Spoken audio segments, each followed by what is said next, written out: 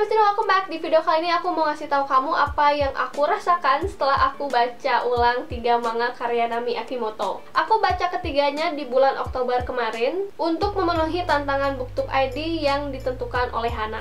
Jadi kalau kalian belum tahu, BookTube ID adalah komunitas booktuber Indonesia. Kami membuat semacam tantangan tiap bulannya yang temanya ditentukan oleh booktuber yang terpilih. Hana terpilih dan menentukan tema Oktober adalah Then and Now. Jadi dia menantang booktuber lain untuk membaca ulang buku apa pun itu. Dia suka dengan pengalaman baca ulang buku. Tapi booktube itu uh, sedikit mendorongnya untuk baca buku baru Padahal baca ulang buku, apalagi buku yang kita suka, memberikan kesan tersendiri. Buku yang sebenarnya aku rencanakan untuk baca ulang sebenarnya bukan manga.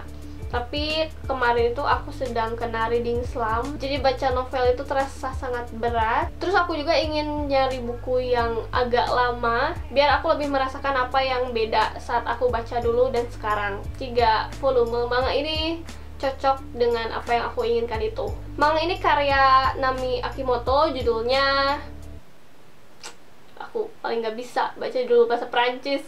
Les Mille Fleurs. Les Mille Fleurs. Les Mille Fleurs. Ya itulah ya. Ketiganya diterbitkan tahun 2002 oleh Elek Media Poputindo.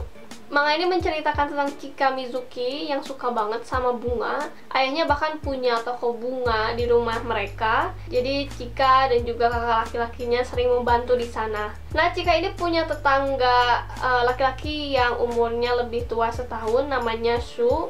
Chika ini naksir sama Su, tapi dia nggak tahu cara ngungkapinnya. Karena keahliannya di bunga-bungaan, Chika memutuskan untuk bikin jimat yang isinya berbagai macam mahkota bunga. Bahan-bahannya dia ambil dari toko bunga dan dari kebun rahasia. Jadi dulu waktu kecil Cika ini menemukan sebuah rumah yang punya kebun yang dipenuhi oleh bunga-bungaan. Uh, anak laki-laki dari keluarga pemilik rumah itu mengizinkan Cika untuk masuk dan mengambil bunga sebanyak apa pun, kapan pun itu. Tapi kemudian uh, keluarga itu pindah dan Cika nggak pernah ketemu lagi sama anak laki-laki misterius itu. Tapi saat Cika akan memberikan jimat uh, bunga-bungaan itu pada Shu, seorang anak laki-laki muncul. Dia namanya Asakura dan dia itu tinggal di rumah di kebun rahasia itu. Cika merasa anak laki-laki di kenangannya sangat mirip dengan Asakura dan ingin tahu apakah memang Asakura ini anak laki-laki yang dia temui dulu. Kalau diingat-ingat kesanku saat pertama kali baca ini, aku ngerasa terkagum-kagum dengan semua jenis bunga yang ada di sini. Kebanyakan yang aku nggak tahu dan bagaimana ceritanya itu berputar pada bunga itu. Bunga yang aku suka itu ada di buku pertamanya, yaitu lavender. Uh, lavender itu punya wangi yang bisa menenangkan perasaan. Terus lalu ayahnya Cika cerita bahwa dia pernah ke ladang lavender yang ada di Prancis. Terus aku juga suka karena lavender itu warnanya ungu. Terus aku juga terkesima dengan uh, gaya rambutnya Cika. Ini aneh banget. Memang cuma Cika ini kan rambutnya sebahu. Gaya rambut tatanan rambutnya sehari-hari itu di kuncir dua gitu. Cuma di beberapa kesempatan istimewa dia rambutnya itu ditata sedemikian rupa dan kayaknya nggak mungkin deh. Itu salahin adalah tentu aku naksir sama asakuranya dia itu karakter yang dingin terus uh, jarang senyum yang kayak gitu tipe-tipe bad boy gitu. Ada beberapa ekspresi Asakura yang aku suka. Mana ya bukan di volume ini mungkin. Oh ya kalau aku baca manga yang aku suka itu uh, bagaimana si mangakanya? Ya kan mangaka itu ngegambar mata tokoh-tokohnya.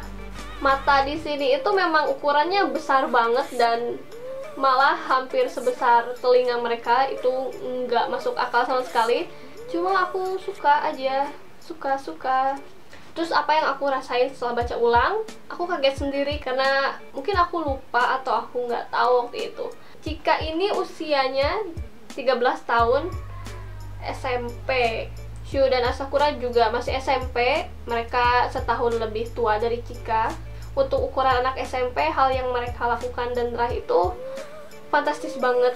Um, itu juga yang merubah pikiran aku soal Asakura memang sih di sini dia cakep banget. Ini dia yang tadi aku mau tunjukin. Setelah aku pikir-pikir cowok anak SMP itu kayaknya nggak akan secakep ini. Dan aku juga menemukan uh, beberapa ekspresi Asakura ini di sini feminim banget bikin dia cantik. Malah lebih cantik dari Cikanya. Terus aku ngerasa chapter tentang lavender itu adalah sumber atau cikal bakal kesukaan aku sama Prancis dan juga warna ungu. Padahal rasanya aku baru benar-benar tertarik sama Prancis itu saat aku kuliah. Sedangkan ini aku bacanya pas SD nah itu dia kesan yang aku dapatkan dari manga karya Nami Akimoto dulu karena aku terlalu terbunga-bunga dengan kisahnya aku tidak memperhatikan kelogisan ceritanya tapi sekarang pun aku masih terhibur dan menyukai cerita ini. Kunjungi Instagram Booktube ID at Booktube ID untuk melihat buku apa yang dibaca oleh booktuber lain dan bagaimana kesan mereka terhadapnya. And if you like this video, don't forget to give it thumbs up, subscribe if you haven't, and thank you for watching. Let's do it again.